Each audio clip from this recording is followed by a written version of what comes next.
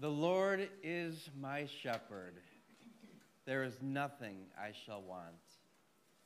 Fresh and green are the pastures where he leads me, besides restful waters. He stills my soul. It's a beautiful psalm, and we all, it's probably the favorite psalm that we have. And today, as we celebrate Good Shepherd Sunday, I would like to focus on one word of the psalm. And the, the phrase is, He leads me. And in Hebrew, oftentimes words have numerous meanings. And the, the leads me to those green pastures, to the, the, the, the still waters, has three meanings at least. One is that he does lead us to those waters. But the second is that he feeds us.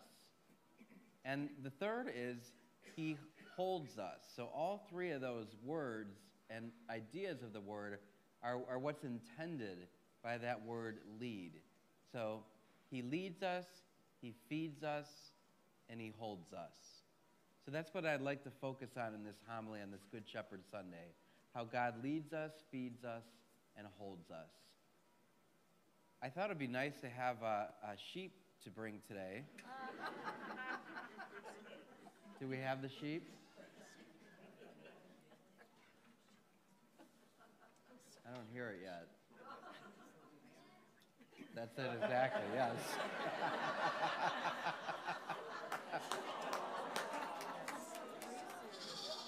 there it is.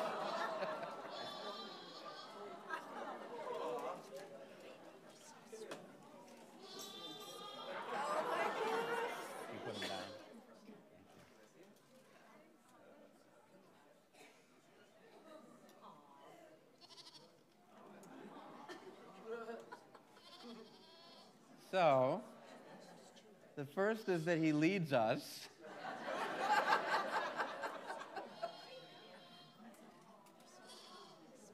and sometimes we don't want to follow where he goes.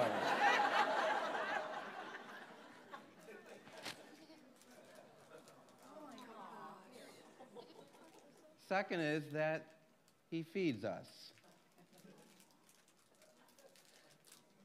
She's still uh, she's still nursing actually.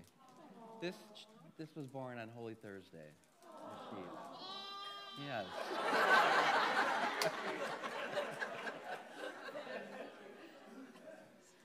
and the third is the third is that he holds us.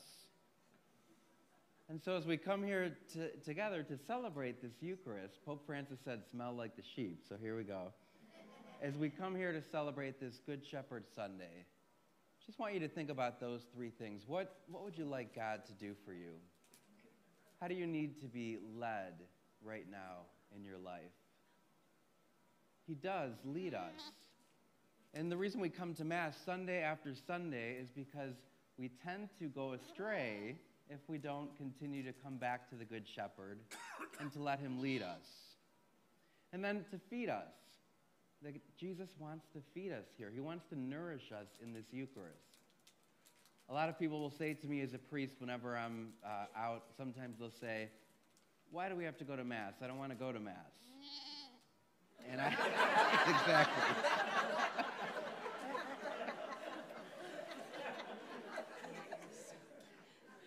And God gives us this command because He knows that we need it. He knows that we need to be we, we need to be nourished and come to Mass. And then sometimes people will say to me, Well, Father, I, I just I'm not fed there. I'm not fed when I go. And I think, you hear the word of God.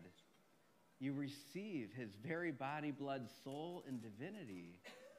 How are we not fed when we come to Mass?